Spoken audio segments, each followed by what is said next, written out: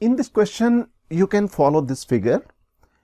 And this figure consists of this elevator. And in this elevator you can observe this is inclined plane. On this inclined plane we have a block of mass small m which is stationary with respect to this incline. And this elevator is moving with acceleration root 5 a naught. And you can observe in this figure the component of this acceleration a naught in the upward direction and 2 a naught in the horizontal direction leftward direction okay? The surface is rough. This surface is rough and coefficient of the friction between the incline and block is given as mu s. And we need to calculate the magnitude of the force exerted by incline on the block. And we are given a naught is equal to g by 2 and this theta that means inclination of this inclined plane with the horizontal is 37 degree and mu s is equal to 0.2 and we are given these four options we need to calculate the magnitude of the force exerted by incline on the block. You can observe this block is in contact with the inclined surface. That means the contact force between the block and inclined surface should be normal reaction resultant of the normal reaction and friction force. So, here we need to calculate the resultant of the normal reaction and friction force.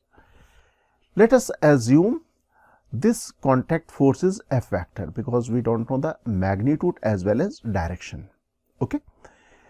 If we consider other forces acting on the block, this is only the weight that will act in the downward direction small mg. Okay. Let us consider the directions. So, let us x axis is a rightward direction and y axis in the upward direction. We can express these accelerations as well as weight in the vector form.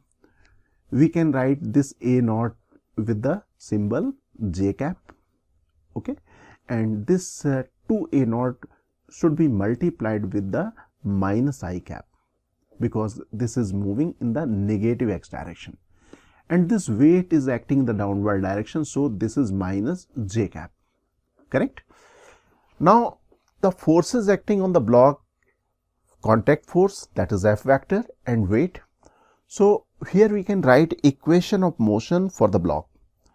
Equation of motion of the block should be equal to F vector plus mg multiplied by minus j cap that should be equal to acceleration multiplied by mass m multiplied by acceleration is equal to minus 2 a naught i cap and this is also acceleration a naught uh, vertical component. So, we should write here a naught j cap. Okay. We can rearrange this equation because we are interested to calculate f vector. So, this f vector should be equal to after rearrangement this will be equal to small m small m we can take common. So, small m and in bracket we will have 2 a naught i cap and here we can take this term in the right hand side. So, this should be equal to plus a naught right and this is plus g and this is j cap correct. Now, we know a naught is equal to g by 2. So, we can write here this is m multiplied by minus 2 multiplied by g by 2 right? I cap. And this is equal to a naught. A naught we know this is having the value.